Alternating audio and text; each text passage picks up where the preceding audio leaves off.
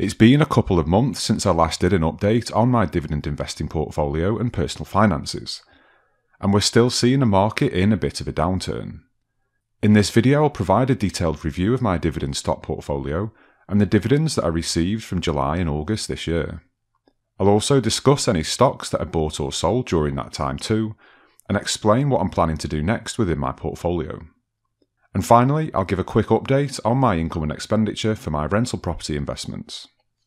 My stock portfolio currently stands at £40,968.93 invested. The total market value has been quite volatile over the last few months, and you can see that my returns actually went up to 16% at one point, and then have reduced to around the 13 to 14% mark. But as a dividend investor, I don't really worry too much about the market value of my holdings, as we all know the market is very volatile, and it's my intention to never sell. I'm only really interested in the income that the portfolio generates through dividends. I'm looking to build a cash generating asset that pays me a passive cash flow every month. This is a long term play for me, and I don't ever intend on taking a penny out of my portfolio for at least the next 15 years or so. Instead, all cash generated is reinvested back into the portfolio to buy more shares that'll pay more dividends. I'm hoping that the snowball effect of compounding reinvested dividends will eventually mean that this portfolio can start to contribute towards my monthly expenses.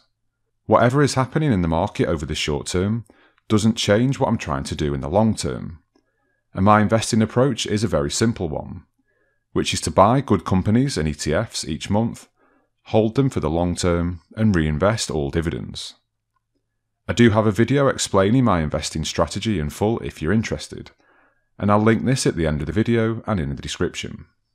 So if we look at what's contributing towards my returns, we can see that the majority of my portfolio has yielded a return on my investment, which is really pleasing to see in a visual. And then looking at how my portfolio is split, we can see that the chunkier slices of this pie chart are my ETFs, which is how I want to keep it. Breaking that down further, these are my top 10 positions in my portfolio by market value. The ETFs that I have do take up the top 5 positions, which was always my intention and how I want to keep it.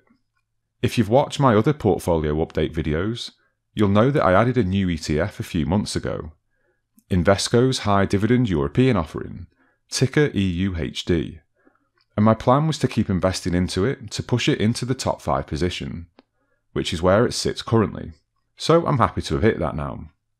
And making up the rest of the list are some large blue chip companies. Interestingly, it seems that the intrinsic value of my portfolio, based on free cash flows, is massively undervalued at the minute. This valuation model doesn't take into account my ETFs, so it's just the individual stocks that I own. We can see that the market value is around 28,000, but based on the free cash flows that the businesses generate, the valuation will be closer to 56k. I do place a lot of emphasis on a company's ability to generate cash when I do choose which individual stocks to invest in. So for now, this is a pleasing metric. The apps that I'm using here are Trading 212 and Simply Wall Street. If you're interested in starting a portfolio with Trading 212, I do have a link in the description where you can use my code and we'll both get a free share worth up to £100. Trading 212 haven't been taking on new customers until recently, but they are now accepting new sign-ups. I've also left a link to Simply Wall Street in the description as well, which is a really nice investment tool that I use to evaluate companies and track my portfolio's performance. I have always tried to invest a minimum of at least £500 each month, and this graph shows how my total amount invested has grown over time. It's nice to see an upward trajectory, which shows that I've been pretty consistent at doing this so far. I've mentioned previously that I was hoping to start investing £1,000 each month as I moved jobs and secured a nice pay rise. But given the way that the cost of living prices have been increasing through inflation, this just isn't possible currently. I've definitely noticed steep increases to my food shops and energy bills. So, being an accountant by trade, naturally I'm erring on the side of caution with my personal finances. Instead, I'm looking to add £750 when I first get paid my salary, and then as I go through the month, paying any expenses that I have, just trying to keep things as reasonable as possible. Therefore, if I have any cash left over at the end of the month, I can just add that into the portfolio as well. My strategy is to continue dollar cost averaging into my portfolio each month, which should smooth out any price volatility over the long run. Since my last update, there have been a number of purchases and sales within my portfolio. Notable additions include a further £2,390 invested into my ETFs, including £1,233 into EUHD. I also boosted my positions in Coca Cola and 3M. And I added another 350 shares of Greencoat UK Wind, the renewable energy company, as I've been doing a lot of research into them recently and saw fit to boost my position. Looking at the sales now, I have actually fully sold out of six positions and reinvested all proceeds back into the buys. I've mentioned a few times that when I first started investing, I had too many positions in my portfolio and found it hard to keep up with everything going on in all the companies. It's been my aim to trim this down to a more manageable level, and if I have any doubts about a company, then I will look to sell. So I decided to sell out of AbbVie and GlaxoSmithKline just because I feel like I don't have complete conviction and knowledge in the sector. The pharmaceutical industry is very complex, and although I felt that I had an okay level of understanding, I did have a lot of uncertainty about the future of the drugs that they produce. For example, drug manufacturers have a patent on certain drugs for a period of time, where only they are allowed to sell them. But once those patents expire, anyone can create and sell these drugs. And I feel like I don't know enough about the company's pipeline and history to understand whether they'll have a continuous stream of innovation in this area to keep churning out profitable medicine, or whether they'll just end up losing some of their competitive advantage. I feel that investing in the pharmaceutical industry is riskier than other sectors, due to the demanding and challenging need for constant innovation, an inability to bring new products to market would eventually cause the downfall of the business. So, if I don't have full conviction, I always feel that the cash will be better suited elsewhere. It might turn out to be a good move, it might be a mistake, or it might not have any significant impact on my portfolio. But either way, as long as I am happy with my decision, then that's the most important thing for me.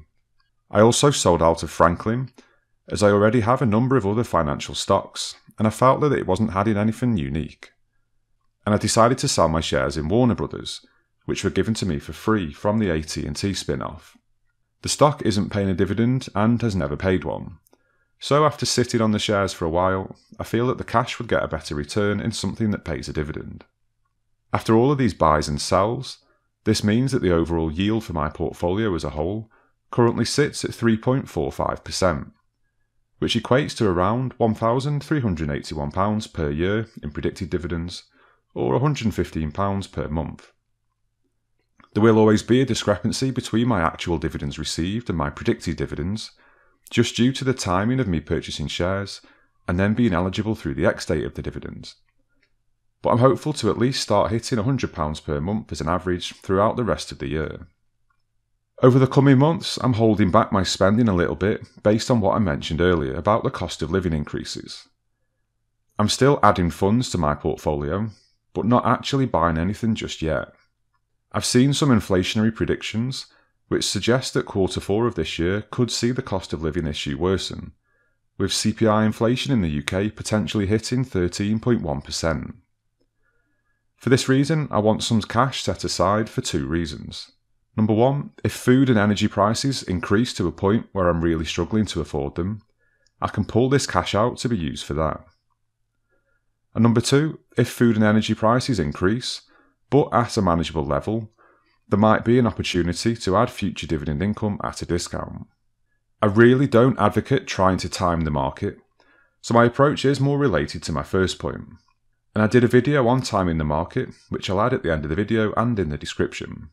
I only intend on holding a bit of cash back for three months at most, so in the grand scheme of things, it shouldn't affect my portfolio too much over the long term. Plus, we don't know what will happen in the meantime. The government could step in with a plan to help with the cost of living prices, or the prices might just naturally return to previous levels. And then I'll just invest the cash that were held back straight into the portfolio. Now let's look at the dividend income that I received over the last couple of months. In July, I actually received £143.10 in dividends from nine different stocks. Notable dividends include £49.81 from VOOC and £41.64 from VHYL. Shares of VOOC trade at around £32, so I should now be able to buy at least one new share of VOOC each quarter with the dividends that I receive. It's my aim to keep building this across all of my holdings over the long term, as it will hopefully start to kickstart the snowball effect. In August, I received £74.75 from seven different stocks, and most were around the £12 to £15 mark, which shows some nice consistency. So, looking into this graph, which shows all of my dividends since starting investing in 2020, we can see that the numbers are increasing year on year if we compare the purple 2020 bars with the blue 2021 bars and the green 2022 bars. The average monthly dividend in 2020 was £45.29. The average in 2021 was £77.88, and the average in 2022 so far is £97.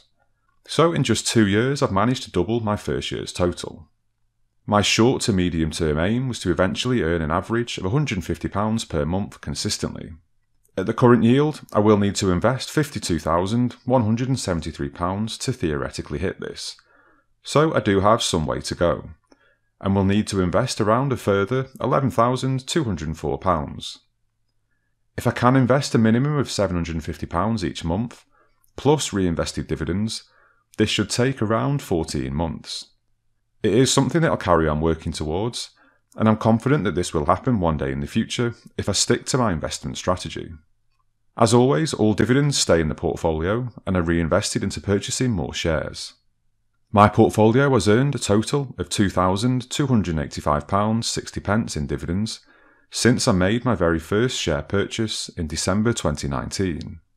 By reinvesting the dividends, this has increased my portfolio from £38,683.33 to £40,968.93, which is a growth rate of around 5.91% so far. I do expect this percentage to get larger over time as more dividends are received and then reinvested. I also invest in real estate and currently own two buy to let properties. Since my last update, this is what the finances look like. The rental income has remained constant, as have the management fee and the mortgage cost. And thankfully, I've still not had any repairs or maintenance issues for a while, which hasn't always been the case, so fingers crossed that this carries on. Therefore, my pre tax profit over the two months is £851.79 a month and £1,703.58 in total. This profit just sits in a separate rental bank account to cover the mortgage payments and the tax bill. And I also use it as a bit of an emergency fund and dip into it every so often if needed. Also, I would draw on this cash should we see any deep extreme market crashes, and I had the opportunity to purchase some heavily discounted dividend stocks. Now that you've seen my portfolio update, I'd be really interested to hear from you. So, how's your portfolio been performing recently? Do you agree with my buys and sells? And is there anything that I've missed from the video that you'd like to ask me? Let me know in the comments section below. I'll be reading and responding to every message that I can. So I hope that you found this video interesting and informative, and I hope that it's given you inspiration and ideas for your own personal finances. If you have, then please like the video and subscribe to the channel to make sure that you don't miss out on any future monthly reviews. Thanks again for watching, and I'll see you in the next video.